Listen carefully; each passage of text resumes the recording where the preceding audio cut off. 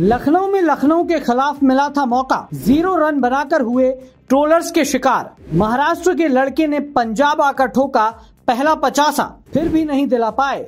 Team को जीत। Lucknow Super Giants ने आईएस बिंद्रा स्टेडियम में पंजाब किंग्स के खिलाफ जमकर रनों की बारिश कर दी। लखनऊ ने आईपीएल 2023 का सबसे बड़ा स्कोर बनाया। इस टीम ने पहले बल्लेबाजी करते हुए पाँच विकेट खोकर दो सौ सत्तावन रन बनाए।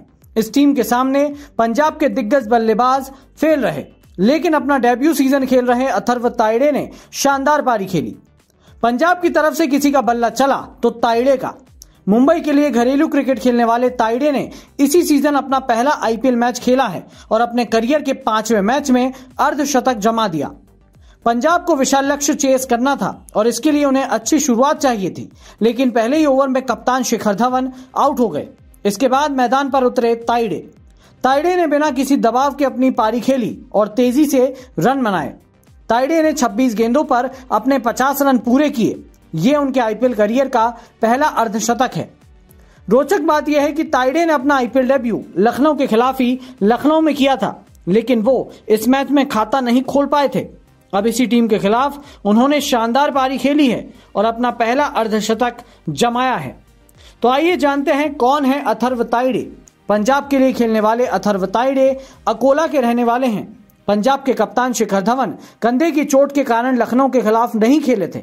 अथर्व को पंजाब ने मौका दिया था। अथर्व ताइडे सलामी बल्लेबाज भी हैं। इसके अलावा वो गेंदबाजी भी करते हैं। अथर्व के पिता अकोला के डॉक्टर पंजाबराव देशमुख कृषि विश्वविद्यालय में प्रोफेसर हैं। माँ देवयानी गृहिणी हैं। ताइडे परिवार अकोला के शास्त्री नगर इलाके में रहता है। अथर्व के चयन से उनके परिवार के साथ साथ कोच भी खुश थे।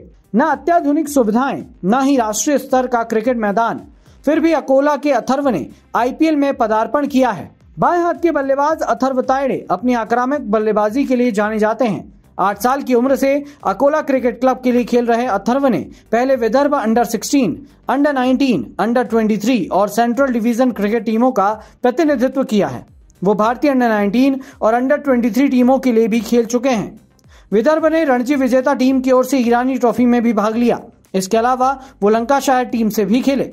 अथर्व को पंजाब किंग्स ने 20 लाख रुपए में खरीदा।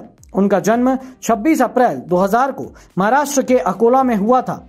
दरअसल अथर्व ताइडे भारतीय अंडर 19 के युवा खिलाड़ी हैं, जो घरेलू टीम विदर्भ क्रिकेट के लिए खेलते हैं।